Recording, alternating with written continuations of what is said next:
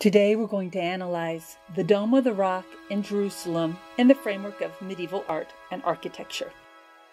A key takeaway is that the Dome of the Rock is the earliest Islamic building to survive in its original form. So it gives us a glimpse into artistic and political messaging from only decades after the life of the Prophet Muhammad. Inscriptions on the building date its construction to 692 CE, and the Islamic calendar system that date is the year 72. The Umayyad Caliph Abd al-Malik ordered it built on the Haram al-Sharif called the Temple Mount in the Judaic tradition. It's an elevated limestone platform sacred to three of the world's major monotheistic religions Judaism, Christianity, and Islam. Mosaics from the time it was built still decorate the arcade level and inside the drum below the dome. Byzantine mosaic artists were hired to decorate this early mosque, and some of the imagery is from a visual vocabulary shared with early Byzantine mosaics, not surprisingly. Acanthus scrolls and vines, garlands, vases, and trophies adorned with jewels of the defeated.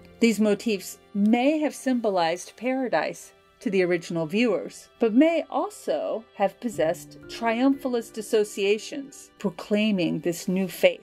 The gorgeous mosaics from the Dome of the Rock in turn may have inspired the mosaics that adorned another Umayyad building, the mosque in Damascus, completed in 715. The Dome of the Rock's 7th century core design is an octagon capped with a central dome. Earlier centralized baptistry buildings, as well as other Christian shrines, maybe inspired this design. In the region, the building type was used for communal Christian spaces, such as the centralized martyrium building in Jerusalem called the Chapel of St. Mary from the 5th century. But there's another local parallel that probably exerted even more influence. For in early Islamic Jerusalem, the most celebrated martyrium was the Church of the Holy Sepulchre, built in the 4th century by Constantine the Great. It's another domed, centralized building, also raised over a rock.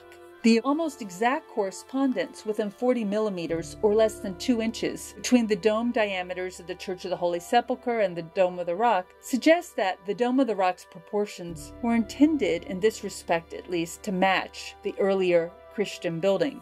The Umayyad building's dome was clearly constructed with care, has a double shell of wood plated with metal. It reached 35 meters above the ground and is thought to have originally possessed a gold and green mosaic design. The inscriptions on the Dome of the Rock are especially important because they're actually the earliest dated Quranic fragments that survive. While the Dome of the Rock's inscription sent a religious and political message to three faiths, the 7th century inscription does seem particularly targeted at Christians, for it proclaims the oneness of God, a tacit rebuttal of the Christian Trinity, I would guess, and attacks the notion that God could even have a son. Yet the inscriptions don't mention at all what, in many ways, is the most striking feature when you visit the building the imposing rock at the heart of the building's interior, 18 by 13 meters. The rock is traditionally identified as the site of Adam's creation, as well as of Abraham's intended sacrifice of Isaac. Within Islam, from at least the 9th century, this same rock is associated with Muhammad's ascent on his miraculous night journey from Mecca